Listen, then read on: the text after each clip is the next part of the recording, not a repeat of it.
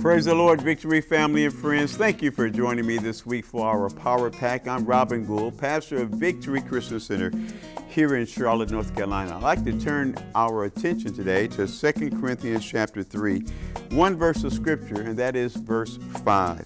It says, Not that we are sufficient of ourselves to think of anything as being from ourselves, but our sufficiency is from God.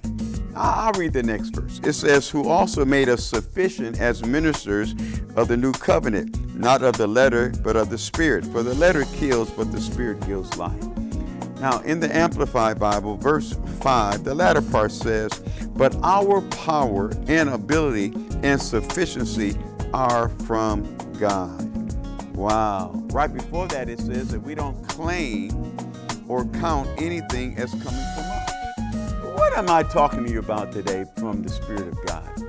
I think we need to make sure we do a checkup from time to time, making sure there's no arrogancy and pride, self righteousness, you know, like we're something. Everything is from God. Our sufficiency is of God. We can't claim anything as being of us. Everything, every good and perfect gift has come from above. And so I just want us to make sure that we are always giving God the glory for everything.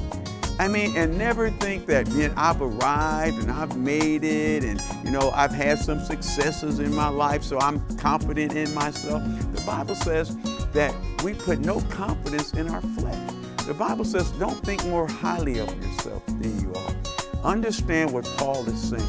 As great of a man of God that he was, the Bible says, and Paul said about the Spirit of God, I am what I am by the grace of God. Everything is because of God. Everything is through God, in God, from God. It's in Him that we live and move and have our being. So our sufficiency, our ability to do anything, all of our gifts, talents, and etc., it's come from God, and it is from God. So let's give Him glory. Let's live for Him. Let's be grateful. And of course, my friend, let's walk in a spirit of humility. God bless you.